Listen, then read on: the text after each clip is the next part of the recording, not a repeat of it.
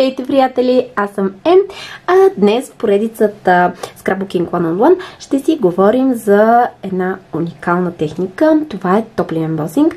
Една моя много любима тема, която беше всъщност първата тема, която водих на работилничка преди вече може би 10 години.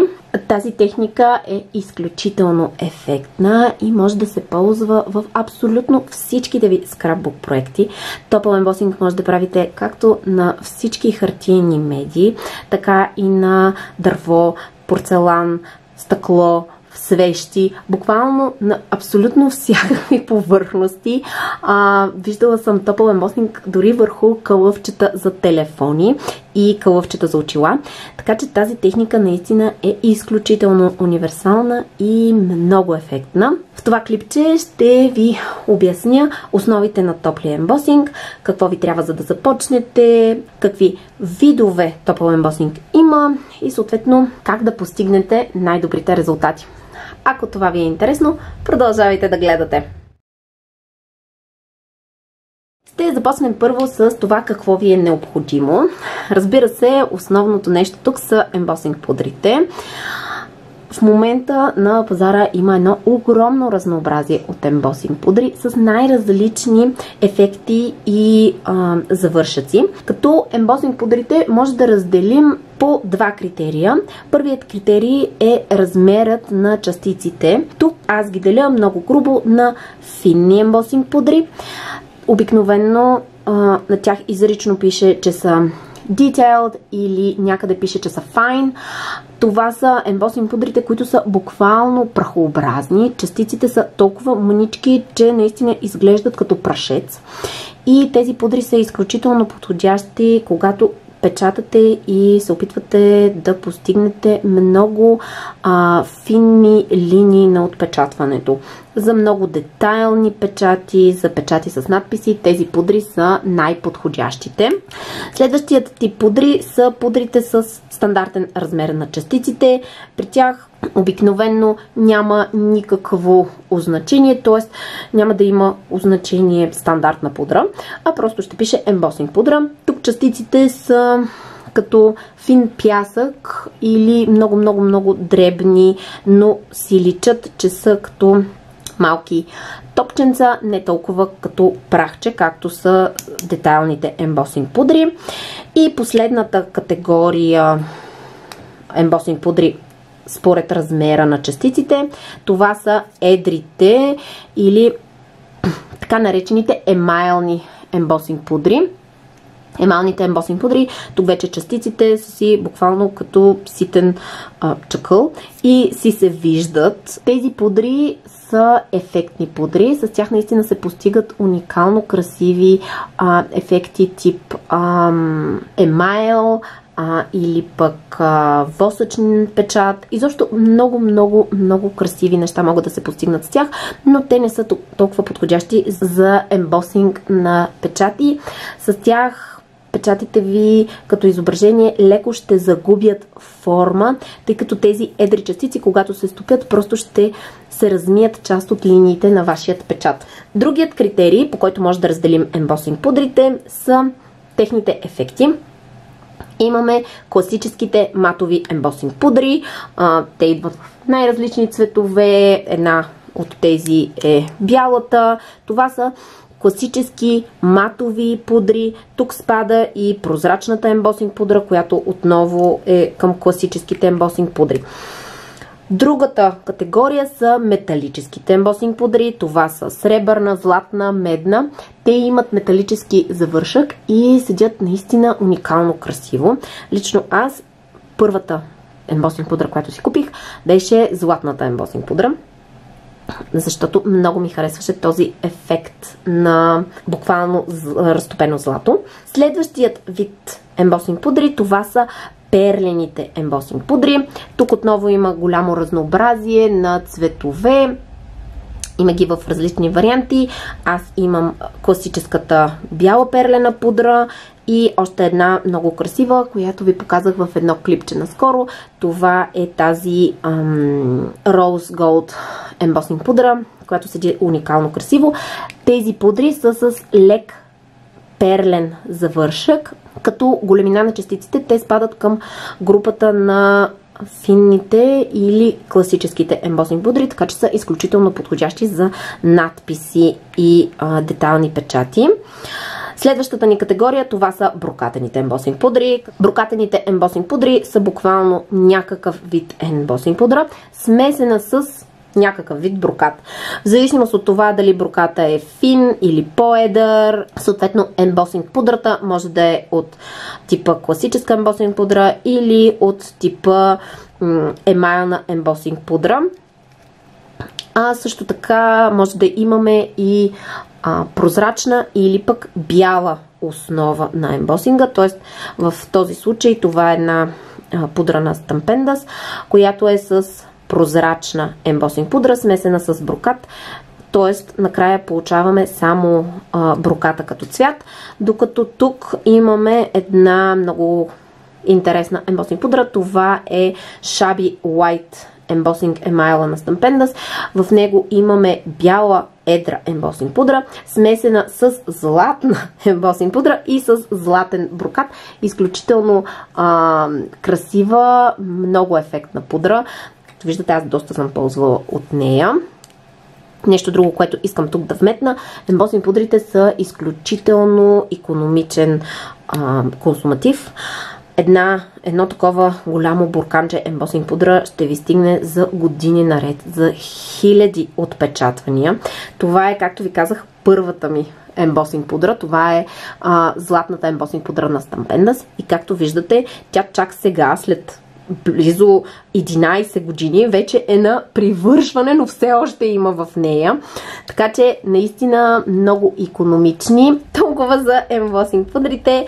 Следващото нещо, което ще ви трябва за ембосинг, това е някакъв тип мастило, с който да захванете ембосинг пудрата, докато я загреете. Аз а, от години наред ползвам ембосинг мастилото на Versamark, но съвсем не е нужно да ползвате точно конкретно това. Може да ползвате това на Стамперия или на Дистрес мастилата. Имат ембосинг вариант. А, има страшно много ембосинг мастила на пазара. Въпрос на лично предпочитание, а също така и на бюджет. Като всички мастила които са специално за ембосинг, са прозрачни. Така можете да видите истинският цвят на цветните си и ефектни ембосинг пудри. Също нещо, което аз много често ползвам, това е ембосинг мастило под формата на маркер. Това е маркера на Versamark, който е буквално един маркер с два върха. Единия е писец по-скоро тип четка, ето така. А другият е писец по-скоро тип маркер. Ето това. Като този тип, като голяма част от творците, които ползват този маркер, го ползват за да изписват красиви надписи, съответно след това да ги ембосват. Аз нямам толкова красив почерк и затова основното, за което ползвам този маркер е да попълвам дупки, когато не ми се отпечата до край печата. Просто взимам с маркера, слагам мастило там, където всъщност има дупка и след това ембосинга ми става плътен, без никой да разбира, че не съм отпечатала добре а, или до край печата. Един инструмент, ако мога така да го нарека, а, който за мен е незаменим при ембосинга. Това е антистатичната гъбичка. Това буквално е една малка възглавничка от а, памучен плат, в която има талк. Това предотвратява статичното електричество, а също така и допълнителното омазняване, което понякога пренасеме на листа хартия. И за мен, особено преди, когато а, все още моят катарак беше жив, а, беше абсолютно незаменимо, тъй като хората, които имат котки, знаят, къщата някакси магически е абсолютно пълна с електростатично а, електричество. И съответно винаги имах излишна пудра по а, отпечатъка си, ако не ползвах тази възглавничка. Не е обаче задължително да ползвате точно тази възглавничка или да си купувате специална такава от крафт магазин. Съвсем спокойно може да си вземете едно шишенце, обикновена бебешка пудра или талко от аптеката и с една пухкава четка за руш да си нанесете талка върху картончето преди да отпечатате. Ефектът ще е абсолютно същият. Накрая един наистина важен уред.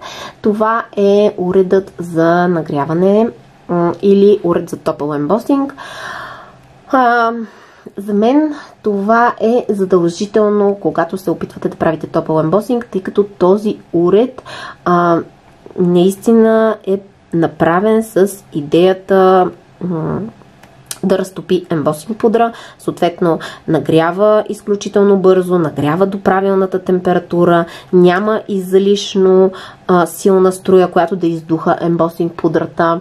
По принцип, ако нямате уред, а, но все пак искате да пробвате ембосинг, по-добрата альтернатива е да загреете ембосинга в тиган на котлона, колкото и смешно и весело да звучи това отстрани, тъй като сушларите, които са за изсушаване на коса, класическите, нямат толкова висока температура, а напротив имат една много силна струя въздух, която все пак цели да изсуши косата ви, без да я нагрява излишно. Но пък именно тази силна струя може да издуха ембосинг пудрата ви и съответно да получите обратният а, на търсеният от вас ефект. Това са всички неща, които ще са ви необходими за ембосинг. Разбира се, тук трябва да сложим и печатите, но те съвсем не са задължителни. Ембосинг може да правите и без а, печати, просто с печатите става, по мое мнение, най-красивият ефект и най-интересните резултати могат да се получат с а, интересни и нестандартни печати. Аз имам много различни клипчета с различни техники за съчетание на ембосинг пудри с печати и с други мастила. Така че ще ви ги оставя както в картите на това клипче, така и в описанието по-долу. А сега ще направим трите основни вида Topple Embossing, за да видите как изглежда, как става и какъв е ефекта. Първият тип ембозинг е и най-класическият, това, което човек обикновено си представя, когато му се каже топъл ембосинг, а именно този, който ползва безцветното мастило за ембосинг с някакъв тип цветна ембосинг пудра. В нашия случай аз съм избрала да ползвам мастилото на Стамперия и съответно сребърната ми ембосинг пудра. Като хубавото на топлия ембосинг, една от а, наистина големите му плюсове, че какъвто е цвета на ембосинг пудрата, такъв ще остане на абсолютно всяка основа. Няма значение дали основата ви е светла или тъмна, а, дали е перлена или пък е матова, каквато е ембосинг пудрата отпечатана на бял картон, такава ще е и на всички останали цветове, което за мен е едно огромно преимущество, особено когато печатате на тъмни картони.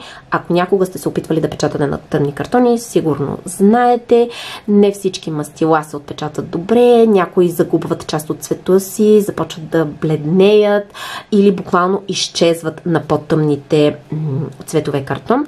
Затова ембосингът Първият е един страхотен вариант, когато искате яра, открояващ се печат на тъмна основа. Аз съм си избрала ето този печат за врантулка. Разбира се, първо ще мина по цялото картонче с антистатичната гъбичка и след това ще отпечатам моето изображение. Сега ще сложа от ембосинг пудрата. Хубаво нарасете. След като си пребера ембосинг пудрата, ще започна да нагрявам печата, като първо ще поставя инструмента право надолу, т.е. в абсолютно вертикално положение над отпечатаното ми изображение и ще почна от единия ъгъл. В момента, в който видя, че ембосинг пудрата започва да се разтапя, местя инструмента последователно, докато се разтопят всички части от печата. Ето го и нашето отпечатано и ембоснато изображение. Както виждате, въпреки че пудрата е изключително светла, тя остава същият наситен, хубав, бляскав цвят върху този тъмен, тъмнолилав картон. Нещо, което сигурно надявам се се вижда на камерата, е, че картонът леко смени цвета си. Имайте предвид, че някои картони, особено по-тъмно пигментираните картони, е възможно леко да сменят цвета си при нагряване. В повечето случаи, когато картонът изтине, цветът се връща към нормалното, но има и варианти да не се случи това, т.е. да си остане този леко по-розовеникъв лилав тон в моя случай. Затова винаги първо пробвайте дали няма да се получи това. Оставете го да изтине примерно 5-10 минути, за да видите дали ще се върне в оригиналния си цвят, просто за да знаете, а не да сте неприятно изненадани, ако това се случи по време на ембосинга. Сега минаваме към следващия тип ембосинг. При следващия тип ембосинг ползваме цветно мастило с прозрачна ембосинг пудра. Имайте предвид, че за ембосинг може да ползвате всякакъв вид цветно-пигментно мастило или такова мастило, което оставя известно време мокро върху а, листа хартия. Такъв тип мастила са, освен пигментните, дистрес оксидите, тъй като те имат пигментна частица към тях, а също така може да ползвате и класическите дистрес мастила, но с една голяма удивителна тук. Трябва да сте изключително бързи, тъй като дистрес мастилата, макар че са на водна основа и са мокри в ам, своя смисъл, те не остават дълго време мокри на картона, а напротив много бързо попиват, т.е. влагата много бързо се попива от картона, затова те не са толкова подходящи и просто с тях трябва малко да сте по-бързи, смисъл да, да свикнете да работите по-бързо, ако работите с тези масила. Тези от друга страна са перфектни, защото остават мокри на картона 3-4-5 минути, а пък пигментните мастила при тях по принцип даже някои творци съветват винаги да сетвате печата, който сте направили с пигментно мастило с безцветна ембосинг пудра, за да сте сигурни, че няма да ви се размаже в бъдеще този печат. Тук хубавото е, че какъвто е цвета на мастилото, което ползвате, ембосинга след това ще бъде цвят много близък до него. Тоест, ако нямате възможност да инвестирате в много различни цветове ембосинг пудри. Може да вземете само една безцветна и съответно да вземете пък голямо разнообразие от различни цветове пигментни мастила. Особено този тип пигментни мастила, които идват в малките ам, квадратни упаковчици, са изключително ефтини.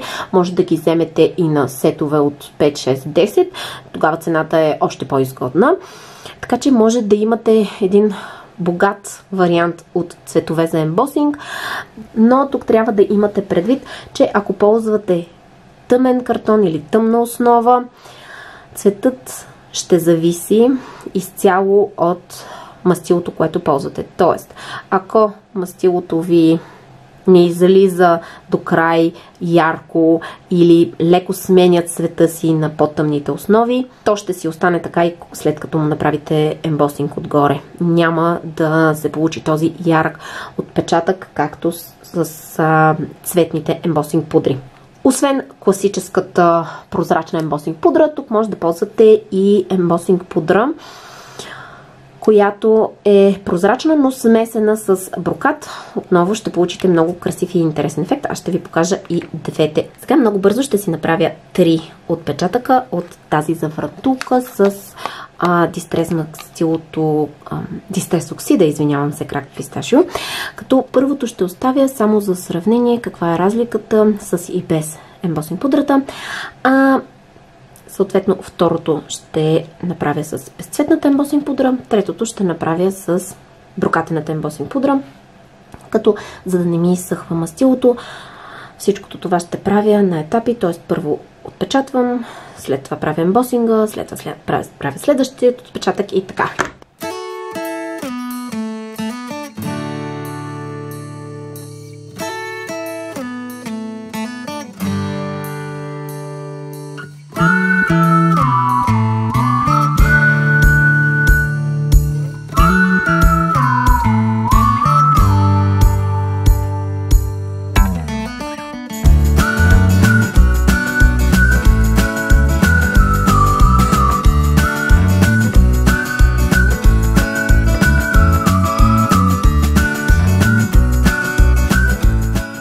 Моите три завърнтулки. Това е завърнтулката, отпечатана само с мастилото, без ембосинг пудрата. Тук имаме вече отпечатък с прозрачната от ембосинг пудра отгоре. Виждате, че това е една идея по тъмен цвят. Надявам се, че се вижда добре на камерата. Когато сложим ембосинг пудрата, тя ще засили с една идея цвета на мастилото, което ползвате. А също така ще направи отпечатъкът ви бляскав и релефен, което е основното преимущество на ембосинг пудрите като цяло. Последната ни завърндулка, това е завърндулката с а, ембосинг пудрата с брокат. Както виждате, тук имаме много красиви брокатени частици, които бляскат, но се вижда основният цвят на мастилото отдолу. Това беше вторият тип ембосинг, когато ползваме цветно мастило с прозрачната ембосинг пудра. Сега минаваме към последният а, вид ембосинг. Последният тип ембосинг е когато ползваме безцветно мастило и безцветна пудра или така наречената водна марка или воден знак. Този тип ембосинг е изключително интересен, много е подходящ за фонови печати, а също така и за много интересни техники в комбинация с дистрес мастила. Една от тях е Embossing Resista, за който съм правила клипче много, много, много отдавна, което ще ви оставя в картите и в описанието тук в YouTube, ако искате да го видите и ви е интересно. Аз сега ще ползвам този голям фонов печат и някакъв вид цветен картон.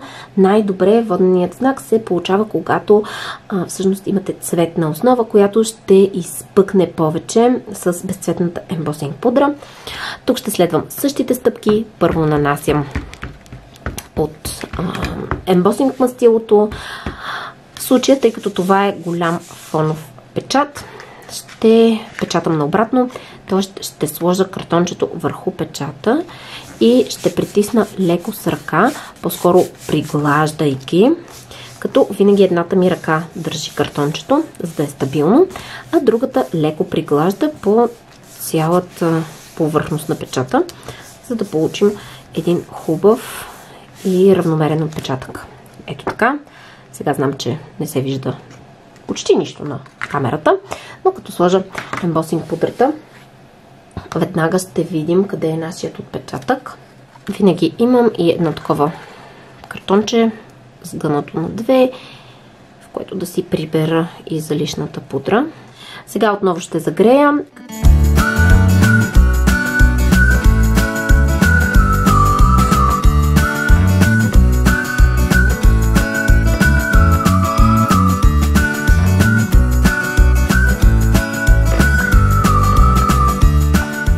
Завършеният ни фон. Както виждате, получи се един отпечатък, един или два тона по-тъмен от а, цвета на картона, който ползвах. Именно за това този тип ембосинг се нарича воден знак, защото наистина седи много подобно на воден знак. Изключително ефектна техника, която може да ползвате както за фонови, така и за някакви декоративни акцентни печати когато просто искате да имате съвсем леко открояващ се печат, няколко тона по-тъмен от основата, която ползвате. Това беше и последният тип ембосинг, който ще ви покажа в това клипче. Разбира се, има още много вариации на тези три основни типа, ползвайки различните видове ембосинг пудра, а също така и различни хитринки и техники за по-нестандартен ембосинг. Ако темата ви е интересна, с удоволствие ще направя продължение с някои по- интересни и ефектни техники, които може да ползвате във вашите скрапбук проекти. Ще завърша това клипче, като ви покажа приложението на Embossing пудрите в един от есените ми проекти миналата година. Тук ползвах ембосинг за акцент върху листата от пауз, които направих за този албум. Както виждате, тук съм ползвала златната ембосинг пудра с един печат за върнтук и ам, прозрачното мастило за ембосинг. И по този начин направих един съвсем лек акцент върху този изчистен пауз, което за мен направи проекта малко по-завършен и му придаде един много красив стил и чар. Ембосингът може да ползвате, както ви казах, в абсолютно всичките си проекти, не само скрапбук албумите, тъй като това е една универсална и много-много ефектна техника. Надявам се, че това клипче ви е било полезно и интересно, както винаги. Ако ви е харесало, дайте му палче нагоре, споделете го с приятели, абонирайте се за моя канал и натиснете камбанката, за да получавате известие веднага, когато кача ново клипче. Пожелавам ви един много творчески и много вдъхновен уикенд. Чао, чао от мен и до скоро!